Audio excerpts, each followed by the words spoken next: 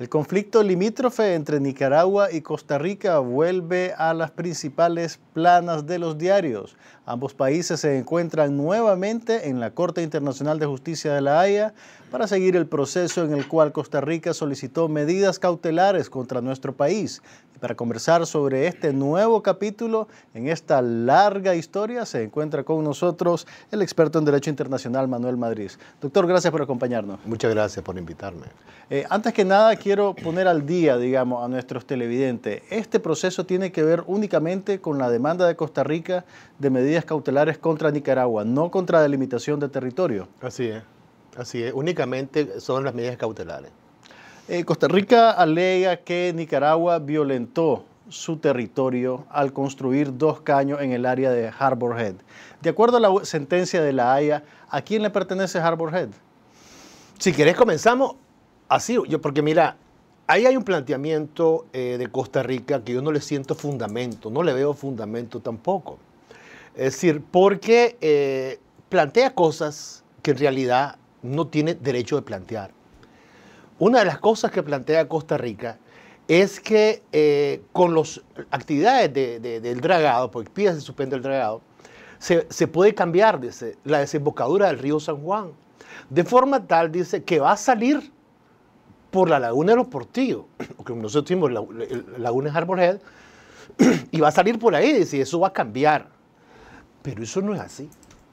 Eso no es así porque, bueno, no lo voy a, no voy a mostrar, pero el artículo 2 del Tratado Jerez Cañas, sí lo voy a mostrar, el artículo 2 del Tratado Jerez Cañas es, es claro, es expreso sobre dónde está la desembocadura del río San Juan. O sea, eso no es invento de Nicaragua. El artículo 2, no sé si podrás leer ahí, dice, la línea divisoria de las dos repúblicas, partiendo del Mar del Norte, comenzará en la extremidad de Punta de Castilla, en la desembocadura del río San Juan de Nicaragua. O sea, ahí es la desembocadura. La desembocadura es en la extremidad de Punta de Castilla. Lo que sucede es que con las actividades que, que ha venido ejerciendo Costa Rica, eh, ¿Se en, refiere a la Colorado, construcción de la, de la trocha paralela al río? No, antes que eso. Es decir, el desvío del agua hacia el Colorado ha disminuido porque la bahía de San Juan del Norte, la bahía de San Juan del Norte es una bahía fluvial, para que queremos eh, primero ubicarnos, ¿no? El, el Jerez Cañas habla de dos bahías, la bahía de Salinas y la bahía de San Juan del Norte. Las dos son bahías, pero son diferentes. Porque la bahía de Salinas es una bahía oceánica, es una bahía del Océano Pacífico. Pero la bahía de San Juan del Norte es una bahía fluvial que la hace el río San Juan con su caudal en su salida. El río San Juan, en su parte baja, señala Alexander, describe esa parte y dice, en su parte baja el río San Juan corre por un delta llano y arenoso. Un delta llano y arenoso es una área arenosa donde se forman diferentes caños que cambian de posición, él señala también porque es llana y arenosa. Entonces, cuando salen las aguas por ese delta llano y arenoso, digamos cinco caños así como mi mano, salen las aguas y forman la bahía. Entonces la bahía es una bahía fluvial, es una bahía de agua dulce. ¿eh? Y luego sale, sale al mar Caribe. Pero es que la, bahía de San Juan del Norte queda dentro del río San Juan, porque el que desemboca al mar Caribe no es la bahía, es el río. El río viene en un solo caño, pasa por el delta y arenoso y se, y se abre en cinco caños, forma la bahía y después el río desemboca al mar Caribe. Nicaragua aceptó que Edén Pastora construyó estos caños en la zona. ¿Eso no puede funcionar en contra de la posición de Nicaragua ante la Corte? Yo no lo veo de esa forma. Mira, te voy a mostrar eh, este mapa, que es el mapa de la bahía y del puerto de San Juan del Norte. Si vos te fijas, hay dos aspectos totalmente separados en la bahía. La parte baja del río San Juan, como te decía, el río San Juan es un río, eh, eh, o sea, la parte baja forma la bahía de San Juan del Norte. La bahía de San Juan del Norte es una bahía fluvial, es una bahía del río San Juan. No es como la Salina, que es una bahía oceánica. Esta es una bahía del río San Juan, que la hace el río San Juan con sus aguas cuando sale por los cinco caños. Forma la bahía y ahí se forma un puerto. Entonces, y acá, en la parte de arriba, está lo que es la isla de San Juan. Son dos cosas diferentes, totalmente. Este es el delta llano y arenoso que describe Alexander de la parte del río San Juan, donde se divide, porque aquí viene un solo caño. Y cuando llega al delta salen varios caños y esos caños son los que forman la bahía de San Juan del Norte. Entonces, Esta es una parte y esta es otra cosa. Esta es la isla de San Juan. Entonces, donde están los humedales es en el delta ni arenoso, acá. Esta es la isla de San Juan que nada tiene que ver. Entonces, si vos ves la, la foto satelital que presenta Costa Rica, supuestamente por acá. Entonces, para mí, Nicaragua está en la isla, porque Nicaragua no está en los humedales. Nicaragua está en la isla de San Juan. Y la isla de San Juan no es algo que de pronto surge como, ¿y qué es eso? No, la isla de San Juan es una isla muy importante. Es una isla que Costa Rica quiso que le fuera reconocida a ella eh, por parte de, Alexander. Y le, argumentaba a Alexander de que la isla de San Juan dice, eh, eh, le corresponde a Costa Rica, dice, porque el día que se firmó el tratado, el 15 de abril de 1858, había una barra de arena, aquí está en barra de arena, que se hace en esta zona. Entonces, hay una barra de arena que comunicaba, dice, la isla de San Juan con la extremidad eh, noroeste de Punta de Castilla, que es esta. Entonces, eso, eso transformó la isla en tierra firme. Entonces dice, el punto inicial no es aquí, sino que es aquí. Entiendo tu punto de que los caños construidos por Pastora no afectan directamente a los humedales. Sin embargo, ¿está esa zona de la isla de San Juan en el área que la Corte pidió se mantuviera despejada de presencia oficial de ambos gobiernos? La Corte, según yo entiendo, planteó no hacer ningún tipo de actividades en la parte de los humedales que reclama Costa Rica. Pero Costa Rica no puede estar reclamando la isla de San Juan. O sea, la isla de San Juan es otra cosa. Se la reclamó Alexander y Alexander se las negó.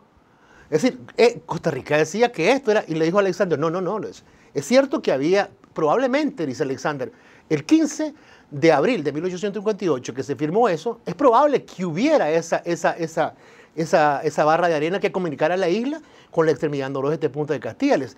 Pero esa unión temporal no cambia el señorío político de la isla, o sea, es nicaragüense, te dice. Y ya, porque esta isla es sumamente importante. Mira, en esta parte, en la extremidad occidental, donde supuestamente están los caños, aquí, entonces aquí es donde estuvo Cornelio Vanderbilt. Aquí estaban las oficinas, los talleres, aquí venían las embarcaciones de océano y cambiaban con las embarcaciones de río pasajeros y carga. Entonces, y entraban al río. Alexander describe cómo este es el punto más importante de la bahía. Esa. Es el punto, dice, que William Walker quiso dominar y nunca pudo. Es un punto sumamente importante. Y está en la isla de San Juan, no está en los humedales. Ahora, Costa Rica, y eso como un elemento adicional, Costa Rica reclama los humedales, pero cuando vos lees Alexander, claramente te dice Costa Rica llega hasta Punta de Castilla. Y cuando vos preguntas, bueno, ¿y qué es Punta de Castilla? Te dice Alexander, Punta de Castilla es la tierra firme al este de la bahía. O sea, Costa Rica llega hasta tierra firme, no entra a los humedales. Eso está claro. Nicaragua está alegando que Costa Rica ha creado más daño en el caudal del río San Juan al construir eh, la carretera rural, la trocha que hicieron paralela al río. Ese, ese tipo de alegato, ¿qué viene a significar en un proceso como este? ¿La Corte puede generar medidas cautelares contra Costa Rica, a pesar de que es Costa Rica la iniciadora de este proceso particular? Ah, perfectamente. La Corte puede tomar cualquier tipo de medida cautelar. Es más, las medidas cautelares las toma la Corte por sí ante sí, aunque no se las pidan aunque no se las pidan, si ya ve una situación que se puede dar, la Corte puede, ordenar medidas, cautelares. Aun y cuando Nicaragua no haya, solicitado, la Corte sí, si en, los planteamientos se ve, la Corte puede dictar medidas cautelares. Los abogados nuestros, Paul, Reitler, eh, Alan Pelé, McAfee, ellos han centrado mucho en la cuestión de que el argumento de Costa Rica no tiene ninguna lógica, realmente no tiene lógica, porque lo que Nicaragua está haciendo, o lo que, lo que corresponde hacer en función de las actividades de dragado, son actividades de mantenimiento y mejora. O sea, el río San Juan es considerado por el Jerez Caña, el laudo Cleveland y los laudos Alexander como un río perpetuamente navegable. El artículo 6 del Jerez Cañas que Costa Rica a cada momento lo saca, dice, la República de Costa Rica tendrá derecho perpetuo de navegación desde la desembocadura. ¿Qué está diciendo? Que el río es perpetuamente navegable hasta la desembocadura. ¿Qué medidas puede emitir la Corte frente a esta situación? Bueno, si yo fuera la Corte, ¿qué es lo que yo diría? Bueno, veamos los humedales, reducir los humedales. Los humedales es esto. Este es el punto. Después, y en la cuestión de, de los, de los, digamos, de lo que hizo Costa Rica, yo no le digo carretera, ni le digo trocha tampoco. Son daños realmente, porque una carretera tiene una lógica. Una trocha tiene una lógica que es una carretera en el futuro. Pero lo que hace Costa Rica ahí son cortes, cortes totalmente más en función a lo mejor de, causar daño a la navegación del río que a causar algún beneficio a los pobladores ribereños costarricenses. Porque, es decir, ¿qué es lo que es un río? Un río es agua encauzada por dos márgenes con cierta consistencia cada una de las márgenes. Si vos venís a una de las márgenes y de palaz y haces movimiento de tierra, vos le quitas consistencia a esa margen. Entonces, si vos tenés entre margen y margen 80 metros y 4 metros de profundidad y haces esas cosas, entonces, ¿qué es lo que sucede? Primero, en la época de lluvia, el sedimento va hacia el río. Si el río se crece, se sube sobre esa tierra y esa tierra va hacia el río. Y el río se puede ensanchar, digamos, a 200 metros. Y entonces la profundidad puede bajar a 50 centímetros y ya no es navegable. Entonces, es sumamente delicado. Una, una, laguna de tisma vamos a tener. Entonces, una situación sumamente delicada es que la Corte puede tomar decisión sobre eso. Es decir, hay que tomar medidas. Hay que tomar medidas porque está afectando la navegabilidad del río. Porque Nicaragua ejerce como derecho la guarda de la navegación. La guarda de la navegación, no es la guarda del río. Porque una cosa es el río, otra cosa es la navegación. El río es considerado como perpetuamente navegable y Nicaragua lo que, lo, que, lo que le corresponde como derecho es la guarda de la navegación. Y para la actividad de navegación es el dragado, limpieza, horas de mantenimiento y mejora para efectos de mantenerlo navegable. Ese es el derecho de Nicaragua. Y Costa Rica Costa Rica no es que tenga derecho a tener humedales metidos en la bahía de San Juan del Norte. El derecho que tiene Costa Rica es a navegar con objeto de comercio desde la desembocadura hasta tres millas inglesas Antigua del Castillo. En términos de procedimiento, eh, ¿cómo va a evolucionar esta denuncia ante la Corte? ¿Qué viene ahora? No sé, mira, a mí me parecen los argumentos que presentaron los abogados nuestros me parecen bien. O sea, primero es ilógico lo que plantea Costa Rica. Porque te digo, eh, es que eso lo que viene es retornar a la navegabilidad del río. Y el otro elemento que señala es que, es que Costa Rica dice que se va a causar daños irreparables. Pero el laudo Cleveland, en el punto sexto, segunda parte, señala, te dice, la República de Costa Rica tendrá derecho a pedir indemnización por la margen que le corresponda que pueda ser ocupada sin su consentimiento por Nicaragua para obras de mejora. O sea, Nicaragua puede ocupar puede ocupar la margen conforme al laudo Cleveland, punto sexto. Y un laudo es una sentencia arbitral, es una sentencia. O sea, Nicaragua puede ocupar. El derecho de Costa Rica no es no, puede oponerse Costa Rica. Lo que Costa Rica tiene derecho a reclamar una justa indemnización. Ahora, yo creo que realmente ahí hay un punto que habría que analizar con más atención, que es la buena fe de Costa Rica. O sea, yo creo que Costa Rica está actuando de mala fe. Y dice que somos nosotros los que estamos actuando de mala fe y son ellos. Porque ¿cómo se le va a ocurrir a Costa Rica decir que esos caños están en los humedales y Costa Rica sabe que esa es la isla de San Juan? O sea, no puede decir Costa Rica que, esos son los humedales. Costa Rica está clara que esa es la isla de San Juan, porque Costa Rica aspiró a que esa isla fuera reconocida como costarricense ante Alexander y sabe dónde está, sabe perfectamente. Si vos ves la foto, ahí no hay humedales, es tierra firme, es la isla de San Juan. Doctor Manuel Madrid, experto en Derecho Internacional, muchas gracias por compartir sus impresiones con nosotros. Estaremos pendientes de cómo progresa este nuevo proceso ante la Corte Internacional de Justicia. Vamos a una pausa y ya regresamos.